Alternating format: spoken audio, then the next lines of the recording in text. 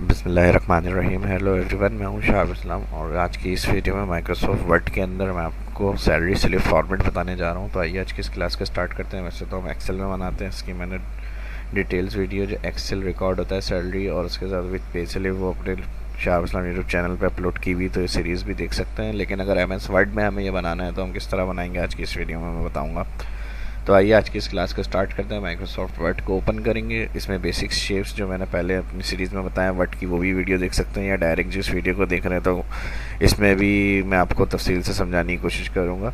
और टेबल की मदद से हम डिज़ाइन करेंगे इसको।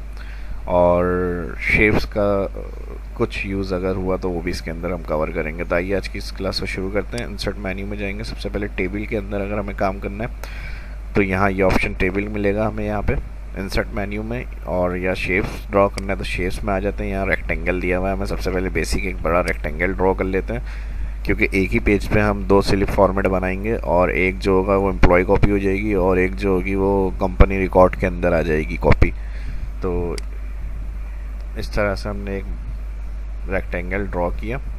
रेक्टेंगल ड्रॉ करने के बाद अलग देखिएगा फॉर्मेट मेन्यू आ जाएगा यहाँ पर। फॉर्मेट मेन्यू में इसका कलर फिल नौ करना है। शेप फिल में जाए, यहाँ से नौ फिल कर दें।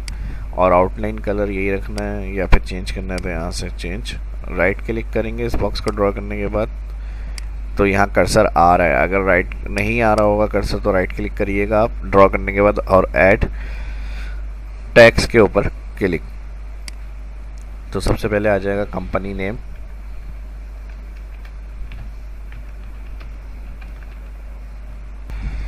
कंपनी नेम के बाद एंटर एंटर के बाद आ जाएगा एड्रेस और इन दोनों को सिलेक्ट कर रहे हैं सिलेक्ट करने के बाद होम में जाएँगे, यहाँ से नो स्पेस नो स्पेस के बाद अलाइन सेंटर अलाइन सेंटर के बाद इसको मैंने यहाँ से कर दिया इटैलिक इटैलिक के बाद यहाँ से फॉन्ट इंक्रीज और उसके बाद नेक्स्ट क्लिक किया और एंटर करेंगे। एंटर के बाद आ जाएगी सैलरी स्लिप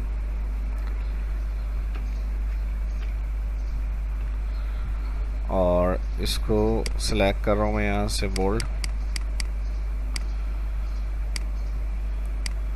एंटर अब कर्सर जो है वो हमारा लास्ट जो फॉर्मेट किया है, उसी फॉर्मेट में आ रहा है। तो नॉर्मल करना है इसको, जो डिफ़ॉल्ट कर्सर होता है एलेवन फॉन्ट और कैलेबरी फॉन्ट तो यहाँ से हम जाएँगे, इधर दिया हुआ है हमें।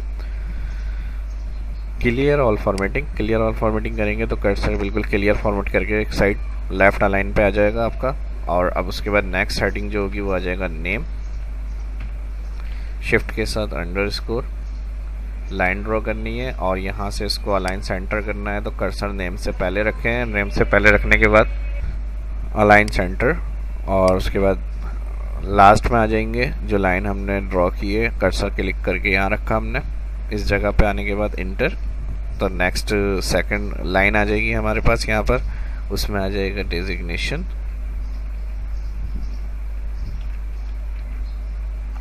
शिफ्ट के साथ अंडर स्कोर फिर इंटर नेक्स्ट आ जाएगा मंथ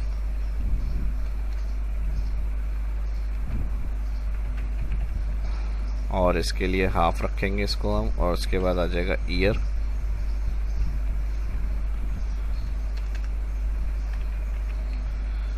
और अगेन शिफ्ट के साथ अंडर स्कोर जो माइनस होता है अल्फ़ाबेटिकल की, इसके ऊपर ज़ीरो के बाद इसको प्रेस करेंगे तो ये लाइन ड्रॉ कर आ जाती है हमारी। उसके बाद अब नेक्स्ट जो काम करना है वो टेबल के अंदर होगा। हमारा तो इंटर करा मैंने।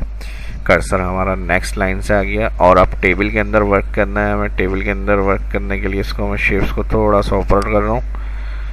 और ऊपर करने के बाद एंटर अलाइन सेंटर कर लिया इसको। अलाइन सेंटर करने के बाद इंसर्ट मेन्यू के अंदर आ जाए। टेबल टेबल ड्रॉ करने का तरीका ये होता है, एक बॉक्स सेल एक बॉक्स है, और जितने आपको कॉलम्स चाहिए राइट साइड पे कर्सर मूव करेंगे कॉलम ऐड हो रहे हैं। अगर आप पेज पे देखें तो टेबल बनता हुआ नज़र आ रहा होगा हमें यहाँ पे, देखें। चार कॉलम हो गए, और इसी तरह डाउन साइड अगर लेके आए तो रो ऐड हो जाती हैं। हमारी दो, तीन, चार, पाँच, छः, सात, आठ टोटल रो हैं। यहाँ पर हम क्लिक करके इसको इंसर्ट कर लेते हैं। बाद में अगर मज़ीद हमें इंसर्ट करनी होंगी रो तो फिर हम इसके मेन्यू जो अलग आ रहे होते हैं, यहाँ ड्रॉ करने के बाद डिफिल टूल डिज़ाइन और फॉर्मेट डिज़ाइन और लेआउट इसमें से ऐड कर सकते हैं। जैसे हम यहाँ पर आएँ और दो रो और मुझे चाहिए यहाँ टोटल दस रो रखनी है तो लेआउट में जाएँगे इंसर्ट अबव या इंसर्ट बिलो तो अभी बिलाएंग टेबल हमारा तो इसमें कोई मैटर नहीं है। इंसर्ट अबव कर लें या बिलू कर लें तो टोटल टेन रॉ गई हमारी यहाँ पर अब फ़र्स्ट रॉ जो आ रही है, इसके ऊपर माउस लेकर आ रहा हूँ मैं। देखें कर्सर चेंज हो रहा है। इसको थोड़ा सा मैं बढ़ा रहा हूँ यहाँ से, क्योंकि ये मेन हेडिंग्स होंगी हमारी। सबसे पहले हेडिंग्स आ जाएगी अर्निंग्स और टैप प्रेस करा नेक्स्ट कॉलम फिर टैप प्रेस करा तो क्योंकि यहाँ डिस्क्रिप्शन होगी, यहाँ नाम होंगे तो अर्निंग का एक सेक्शन है, और दो, चार कॉलम है, और दो दो में डिवाइड हो जाएँगे, एक अर्निंग के दो कॉलम हो जाएँगे, और एक हो जाएगा डिटेक्शन और इनको अगर टेबल के अंदर अलाइन करना है तो इसका लेआउट मेन्यू और टोटल यहाँ पर नौ अलाइन होती हैं टेबल के अंदर। इस तरह से मैंने सेंटर कर दिया और लेफ़्ट अलाइन करना है तो यहाँ से भी कर सकते हैं आप। बोल्ड करना है यहाँ से, इसको बोल्ड कर दें। और इसका साइज़ को थोड़ा सा बड़ा कर देते हैं यहाँ से, कलर। टेबल के अंदर कलर करना है तो यहाँ से आ जाएँगे डिज़ाइन मेन्यू में, यहाँ दिया हुआ है शेडिंग, इस तरह से। और अब नेक्स्ट जो वर्क करना है, वो हम अर्निंग स्टार्ट या हेडिंग्स टाइप करना शुरू करेंगे बेसिक्स एरो करेंगे डाउन तो नेक्स्ट सेल के अंदर आ जाएँगे। तो यहाँ पर आ गया हमारे पास बेसिक्स उसके बाद आ जाएगा हाउस रेंट शॉर्ट लिख रहा हूँ house R H R A और उसके बाद नेक्स्ट हेडिंग हो जाएगी कन्वेंस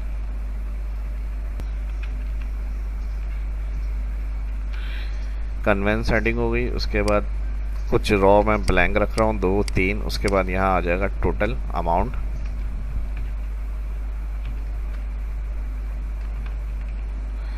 और यहाँ पर हमारे पास सैलरी का अमाउंट आ जाएगा ट्वेंटी थाउज़ेंड है मिसाल के तौर पे वो एंटर करी मैंने यहाँ पे.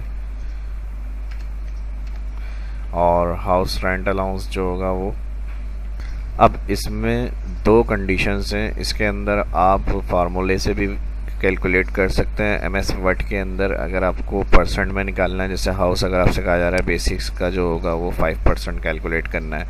आप फाइव परसेंट कैसे कैलकुलेट करेंगे?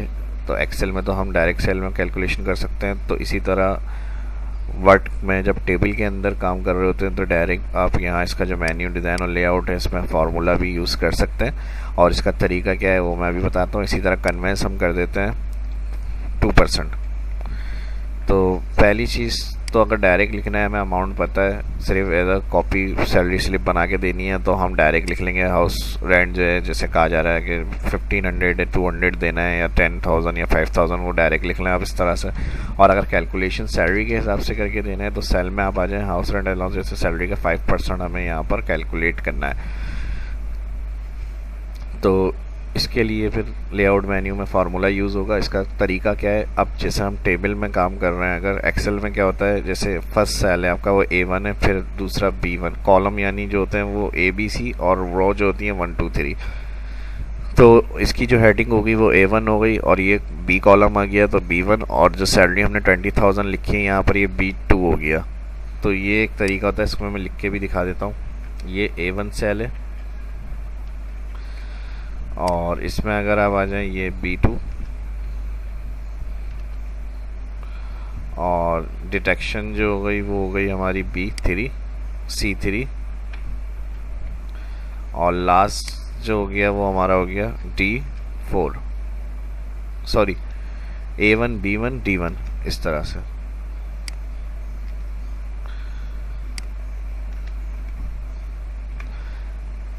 इसको सिलेक्ट कर लेते हैं, यहाँ से लाइन सेंटर कर देते हैं। ये वर्क किया है, यानी बी वन हो गया तो ज़ाहिर सी बात ए वन है तो ये वाला ए टू ए थ्री इस तरह, और बी वन है तो ये बी टू अब जो सैलरी है वो बी टू में है, और हमें कैलकुलेट फाइव परसेंट इसका कहाँ करना है? बी थ्री में तो इस वाले सेल पर हम आ जाएँगे।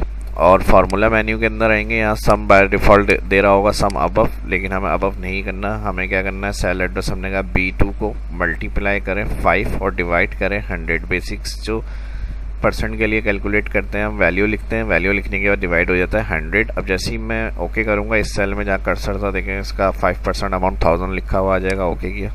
बिल्कुल सही है। सेम इसी तरह कन्वेंस कैलकुलेट करना है फार्मूला मेन्यू फार्मूला मेन्यू में आ जाएँगे, यहाँ से सम अबव जो आ रहा है इसको हटाएँ, और अब क्या हो जाएगा? बी टू ही रहेगा और multiply two percent divide hundred enter करा। अब टोटल अमाउंट में आ जाएँगे, इसको भी बोल्ड करना है यहाँ से होम में गए बोल्ड अलाइन सेंटर थोड़ा सा फ़ॉन्ट इंक्रीज़ कर दिया मैंने यहाँ से। अब इन सबको प्लस करना है। प्लस के लिए वही लेआउट मेन्यू में जाएँगे फार्मूला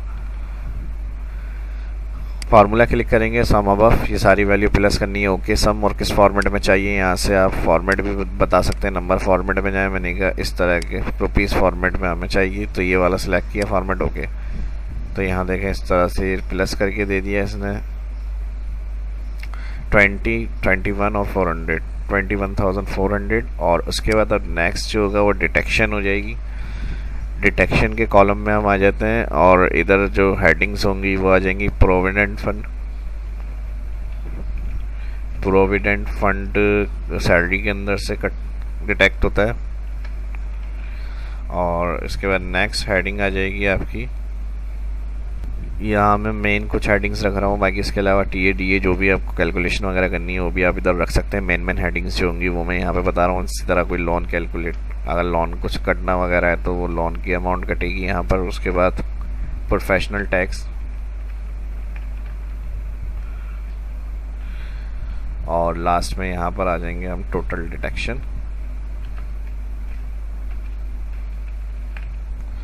और सेम इसी तरह की हेडिंग इसके इस ये वाला जो टैक्स है फॉर्मेट हम इस तर, इसके ऊपर भी चाह रहे हैं तो यहाँ से सिलेक्ट करा होम और होम के बाद सिलेक्ट करने के इस हेडिंग को सिलेक्ट कर लिया। अब प्रोविडेंट फंड भी अगर हमें सैलरी जो हमने ग्रॉस रखी है इसको आप ग्रॉस भी कर सकते हैं और टोटल अमाउंट या टोटल एडिशन भी कर सकते हैं। यहाँ मैंने टोटल अमाउंट हेडिंग दी है। आप ग्रॉस सैलरी करना चाह रहे हैं तो वो भी दे सकते हैं कि सैलरी में अक्सर जो ग्रॉस अलाउंस को प्लस करके अमाउंट आता है ग्रॉस होती है वो। प्रोविडेंट फंड भी अगर हमें ग्रॉस से कैलकुलेट करना है टेन परसेंट मैंने यहाँ लिख दिया और प्रोफेशनल टैक्स डिटेक्ट होगा फाइव परसेंट वो मैंने यहाँ कैलकुलेट कर लिया। तो वो भी बताया मैंने सैलड के हिसाब से कैलकुलेट होगा B one B two B three B four B five B six B seven और सम अब जिसमें किया था ये बी एट है। तो इस सेल में हमें बी एट से मल्टीप्लाई टेन परसेंट करना है, इस सेल पे कर्सर रखा है लेआउट में गए फार्मूला फार्मूला में हमने जाए सम को हटाया यहाँ से और मैंने लिखा बी एट मल्टीप्लाई टेन और डिवाइड हंड्रेड ओके करेंगे तो यहाँ हमारे पास कुछ गलती हुई है, दोबारा चेक करते हैं. डिलीट फार्मूला मेन्यू में यहाँ से इसको क्लियर किया हमने. बी एट मल्टीप्लाई टेन और डिवाइड हंड्रेड ओके। तो आप देखें टेन परसेंट जो था वो अमाउंट आ गया इक्कीस सौ चालीस।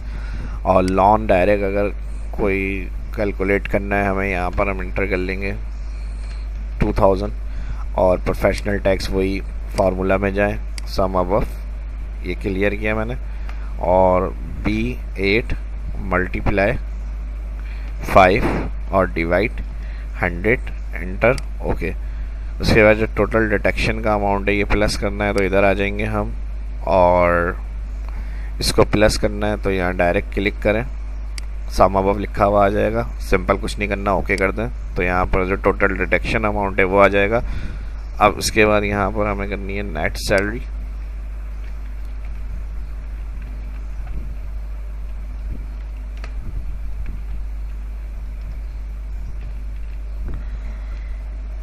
और सेम इस फॉर्मेट को हमें लेना है तो फॉर्मेट पेंटर में जाएँगे और इस हेडिंग को सिलेक्ट कर लेंगे अलाइन सेंटर इधर आ जाएँगे नेट सैलरी के लिए।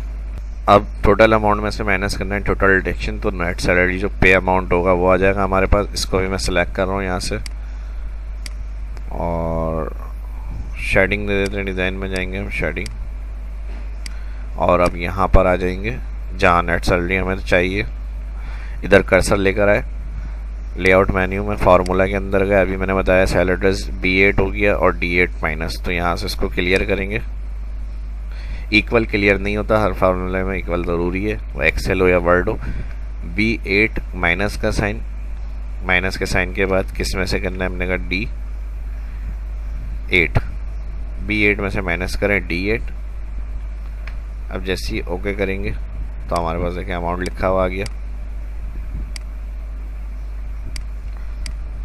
और इसकी राइटिंग कलर जो है वो थोड़ा सा चेंज कर देते हैं। होम डिज़ाइन में ही जाएँगे यहाँ से।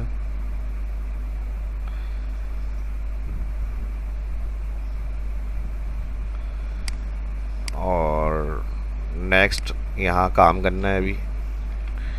इसको मैं बड़ा कर रहा हूँ शेप्स को।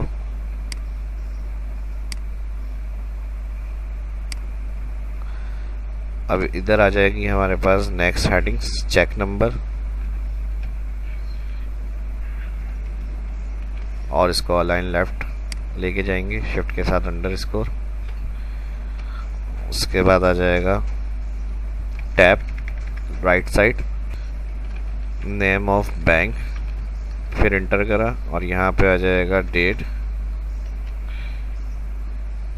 और इसके बाद फिर शेप्स को थोड़ा सा बड़ा करेंगे हम यहाँ से। इंटर किया।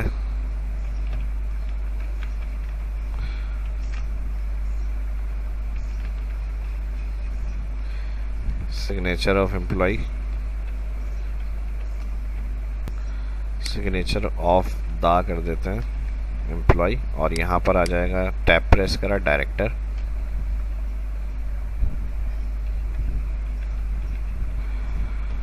शिफ्ट के साथ under score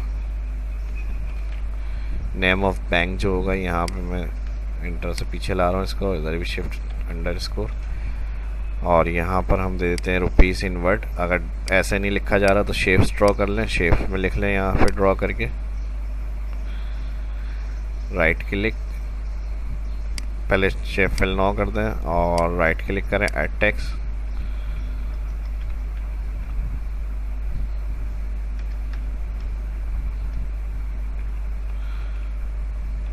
rupees in word यानी यहाँ रुपीज़ जो भी अमाउंट आएगा, उसको आप लिख सकते हैं।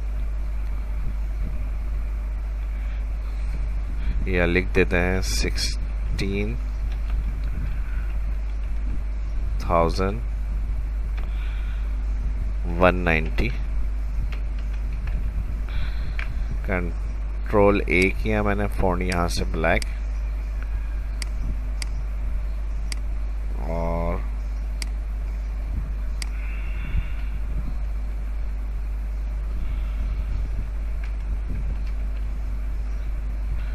इस तरह से ये आ गई हेडिंग्स हमारी और इसका भी फॉर्मेट में जाएँगे शेप आउटलाइन नो और बाकी यहाँ पे बोल्ड कर देते हैं इटैलिक कर देते हैं इसको। बड़ा करना है यहाँ से इसको थोड़ा सा बड़ा कर लें। इग्नोर अब जब लास्ट में सब कंप्लीट हो जाता है तो उसके बाद उसकी फॉर्मेटिंग वगैरह किस तरह करनी है, वो आप सेट करेंगे और इसके अलावा इसको सिलेक्ट किया मैंने। राइटिंग यहाँ से।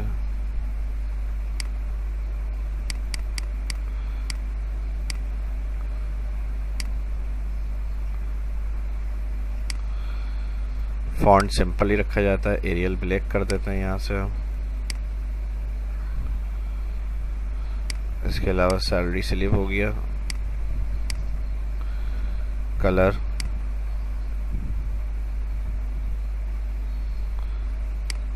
रेड कर दें और इसको भी सिलेक्ट कर रहे हैं।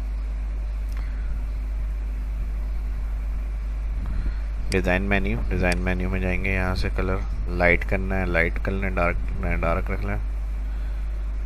ये कलर कर लेते हैं और ये हटा देते हैं यहाँ से।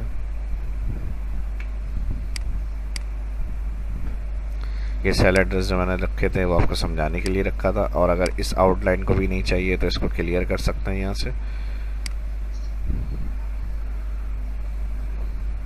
होम मेन्यू में जाएँगे सिलेक्ट ऑब्जेक्ट और यहाँ से बाहर क्लिक करते हुए ऑल सिलेक्ट या फिर कंट्रोल ए कर लें। क्लिक करें अनसेलेक्ट सब control A control C control enter करेंगे नेक्स्ट पेज इंसर्ट हो जाएगा कंट्रोल वी तो यही हमारे पास जो है, वो दो कॉपीज़ हो जाएँगी, एक बैंक कॉपी हो जाएगी, एक एम्प्लॉय कॉपी हो जाएगी कंपनी के रिकॉर्ड के अंदर जो आएगी वो कॉपी बन जाएगी, हमारी व्यू में मैं मल्टी पेज कर रहा हूँ यहाँ से। तो दोनों आमने सामने आ जाएँगी ये कॉपीज़ हमारी।